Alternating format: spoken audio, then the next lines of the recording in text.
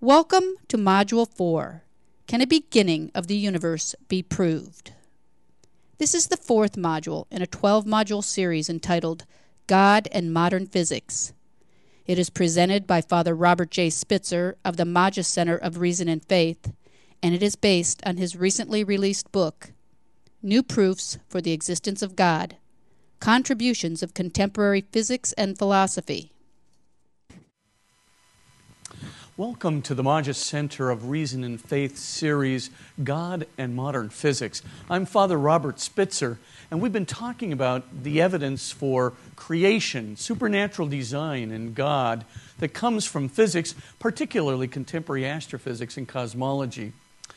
Right now, we've been uh, talking about, well, the constituents of our universe and the standard Big Bang model. And we noticed that uh, the standard Big Bang model says that the Big Bang occurred 13.7 billion years ago. And we're wondering was the Big Bang truly the beginning of the universe, the point at which the universe came into existence? Or could there have been another period, perhaps a period in a multiverse, or perhaps a bouncing universe that had infinite numbers of bounces prior to our Big Bang, and our Big Bang is just the last uh, uh, time and, the last oscillation uh, of the universe that's been existing for an infinite amount of time. And we noticed in the last uh, um, uh, episode that that uh, there are three pieces of evidence which would militate against not having a beginning.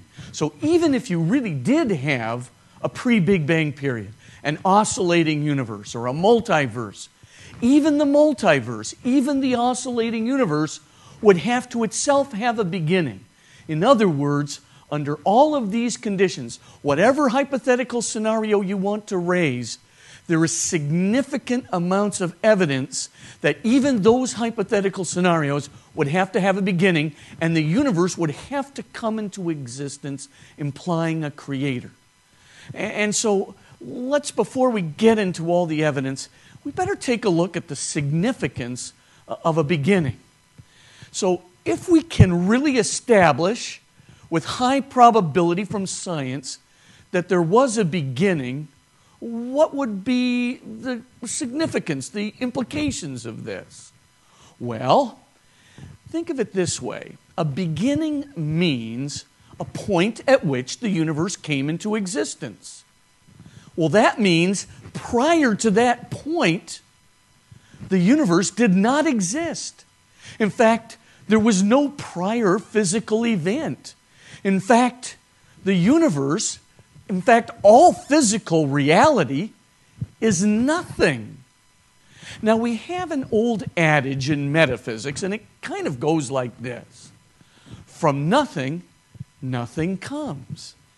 In other words, Nothing is just nothing. You don't want to make nothing a void. A void is really something. You can have more dimensionality, less dimensionality. You can have orientability of a void. The void could be overlaid with all kinds of laws. But no, no, we're talking about nothing, zero. And nothing's just nothing. There's no such thing as nothing. Don't put any something, don't put any content into nothing because nothing is nothing. Now, what's the first rule of metaphysics? From nothing, only nothing comes. So, if the universe was, indeed all physical reality was literally at one point nothing, it could never have created itself because the only thing that can come from the nothingness of the physical universe is nothing. Well, wait a minute then. Where did the universe come from if it couldn't have caused itself to exist? If it couldn't have sprung into existence from nothingness, then how could it have come into existence? Well, there has to be something, not nothing, there has to be something which is not this universe something which transcends this universe, which is beyond this universe, which is greater than this universe, there has to be something which caused that universe to be. Something much greater than this universe that could, analogously speaking, think the universe, as it were, into being. create it anew from its nothingness. And that we'll call a creator. So, what's the significance of a beginning? The significance of a beginning is that it literally points to a creator. It points to God. It points to something transcendent, something powerful. If you establish that there is truly a beginning of the universe prior to which the universe did not exist, you're establishing, everyone, that there's something out there, something much bigger than our universe which can throw it, its constants, its space time into existence in a single moment. And that's the implications of a beginning. It literally bespeaks God. Now, if you take a look at the diagram here in the triangle, you can, you can see that there really are three kinds of evidence that point to this Creator, that point to this God. Two of the bodies of evidence are really talking about a beginning. Uh, and that's number one, uh, the law of entropy. So there's a significant amount of evidence from the law of entropy for a beginning of the universe. Even a beginning of the universe with all kinds of speculative scenarios, like bouncing universes and, and, and, and pre Big Bang periods. The second is space time geometry. Remember that space time is a field. And remember that the space time field, uh, it can be collapsed into a single point.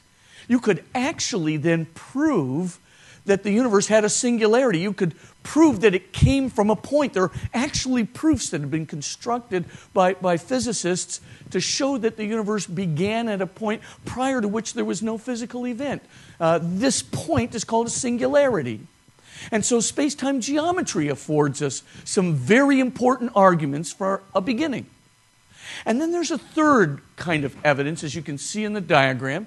And the third kind really isn't talking about a beginning, but rather is talking about the super intelligence of the cause of the universe.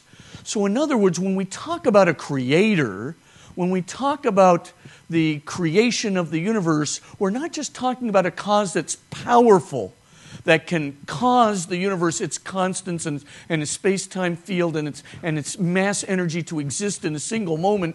We're talking about a cause which is highly, highly, highly intelligent which can assemble what we're going to be defining as the constants of the universe and assemble even the conditions, the initial conditions of the universe, in a very, very fine tuned way to come out precisely to support and maintain complexification of life forms, even an intelligent life form. And that, of course, would speak of then not just fine tuning and supernatural design, but would be talking about the intellect which did the designing. And so we can see then that all three evidence sets on the triangle come together around this one thought a very powerful, transcendent, super intellect which causes the entire universe to exist in a single moment whether the universe began at the Big Bang or whether you postulate some other pre Big Bang period, what we're saying is all three evidence groups point not only to a beginning, but to a superintelligence behind the beginning that throws it all into existence. We're going to be explaining each one of the points in the triangle now. We'll be going through every one of them. And then, once the evidence has been assembled, We'll be reviewing what we have talked about in terms of the beginning, and then we'll be looking literally at the evidence for a creator, a super intelligent creator, through the eyes of contemporary physics. Thank you. To learn more about this series and the Magis Center of Reason and Faith, please visit www.magisreasonfaith.org